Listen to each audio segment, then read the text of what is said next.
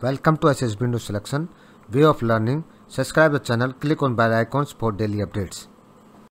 इस वीडियो में मैं आपको लेटेस्ट जो अभी एसएसबी के अंदर में 2020 की जो एसएसबी अभी जनवरी और फरवरी में जो एसएसबी हुई है उसमें जो इंट्रो के जो लेक्चर जो टॉपिक है वो दिए गए हैं उसके बारे में बताऊँगा कि कौन से एस में कौन कौन से लेक्चर के टॉपिक दिए गए जो न्यू कुछ नई जो हाई एवरेज अबाव एवरेज जो है वो जो लेक्चर के टॉपिक है वे मैं आपको बता रहा हूँ।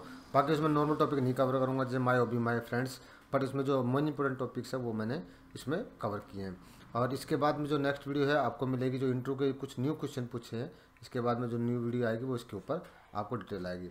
सबसे पहले मैं थोड़ा कर, जो कैंडिडेट पहली बार जा रहे हैं जिनको नहीं पता उनको थोड़ा बता देता हूँ जल्दी जल्दी।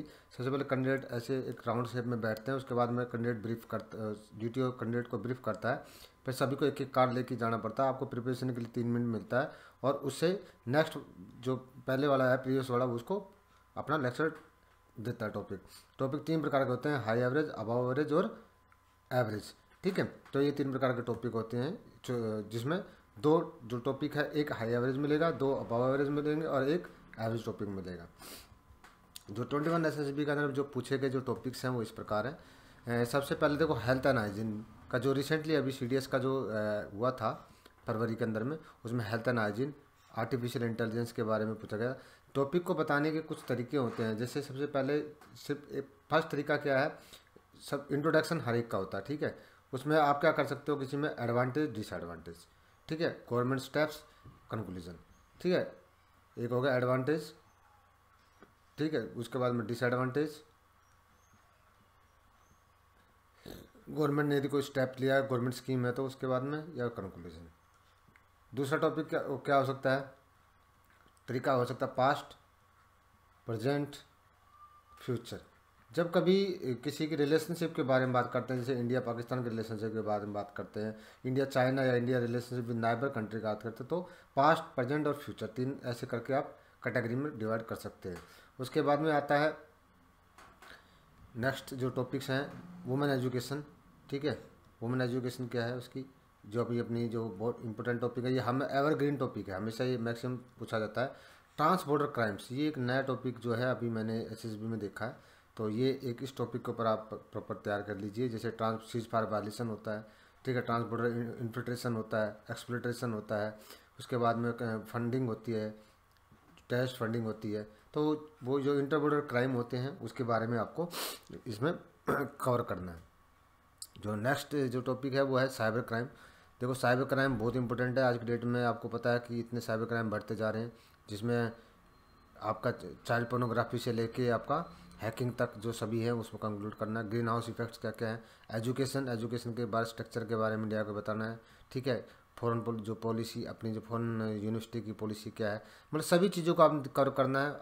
आपने तीन, एक प्रिस्क्राइब मैनर में आपने कभी भी जो भी लेक्चर देते हो, आपने प्रिस्क्राइब मैनर में विद पोलाइटली अच्छी उसमें टोन के साथ में आपने देना। एक सोशल मीडिया ये भी बहुत बड़ा चैप्टर है। इसमें आप कम से कम दो घंटे कंटिन्यू बोल सकते हैं।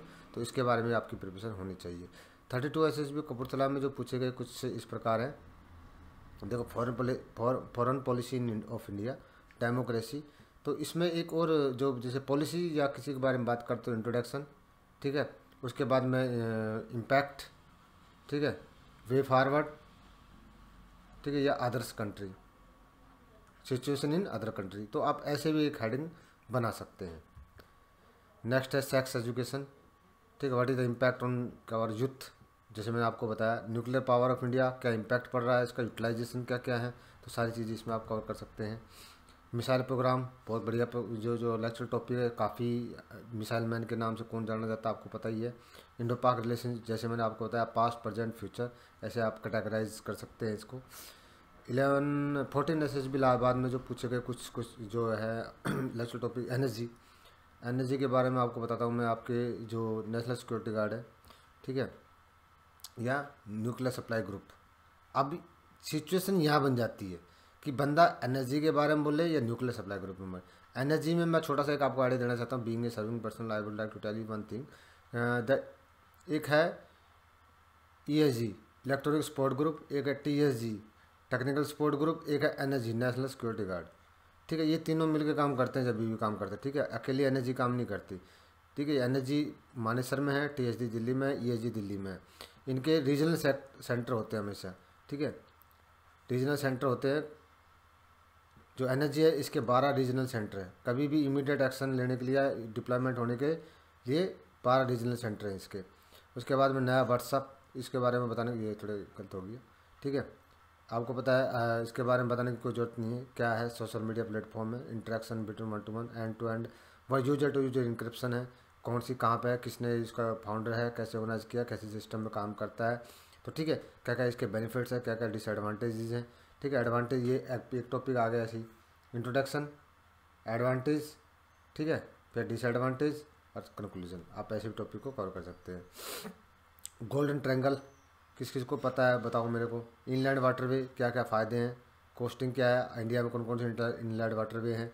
ठीक है, पहला कहाँ पे था, अभी रिसेंटली कौन सा जो इनोग्रेट किया गया था पीएम प्रधानमंत्री मोदी ने अभी एक साल पहले ही इनोग्रेट किया था। ठीक है छः सौ करोड़ रुपये का खर्चा आया था इसके ऊपर। तो ये चीज़ें आपने उसमें कर करनी है। Child labour one of the major issue आपने देख रहा है, इसका क्या क्या इम्पैक्ट पड़ रहा है, कितने हैं, ठीक है इंडिया में कहाँ कहाँ चाइल्ड लेबर यूटिलाइज होते हैं गवर्नमेंट ने क्या क्या स्टेप्स लिए हैं तो इसके बारे में उसको डावरी सिस्टम ये तो आपको पता था एवरी सिस्टम अभी भी जो अपने प्रिवेलिंग है अपने इंडिया में। ठीक है क्या क्या रीजन है, इससे क्या इम्पैक्ट पड़ रहा है आपको पता है इसके जो अपनी सोसाइटी के अंदर में जो रिलेशनशिप है, उसके अंदर भी बहुत फ़र्क पड़ रहा है।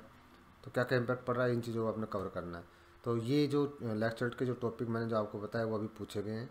तो इनके बारे में आपको अच्छे से प्रिपरेशन करनी है। यदि किसी पर्टिकुलर टॉपिक के ऊपर आप पर्टिकुलर वीडियो चाहते हैं तो आप मुझे बता दीजिए, मैं उसके ऊपर मैं डेफिनेटली वीडियो बना दूँगा। और यदि कोई भी क्वेश्चन हो, कोई भी डाउट्स है तो आप मुझे कभी भी कमेंट्स बॉक्स में भेजिए। और आप मुझे फॉलो भी कर सकते हैं। मुझे फॉलो कर सकते हैं S S B into selection ठीक है? मैंने जो लिंक है आपको डिस्क्रिप्शन बॉक्स में मिल जाएँगे। फेसबुक में आप S S B into selection two में, और ट्विटर और अपने टेलीग्राम में टेलीग्राम और इसमें आप इसमें और ट्विटर में एस एस बी प्रिपरेशन के नाम से आप मुझे फॉलो कर सकते हैं। वहाँ पर आपको डेली अपडेट्स वीडियोस हैं, वो मिलती रहेंगी।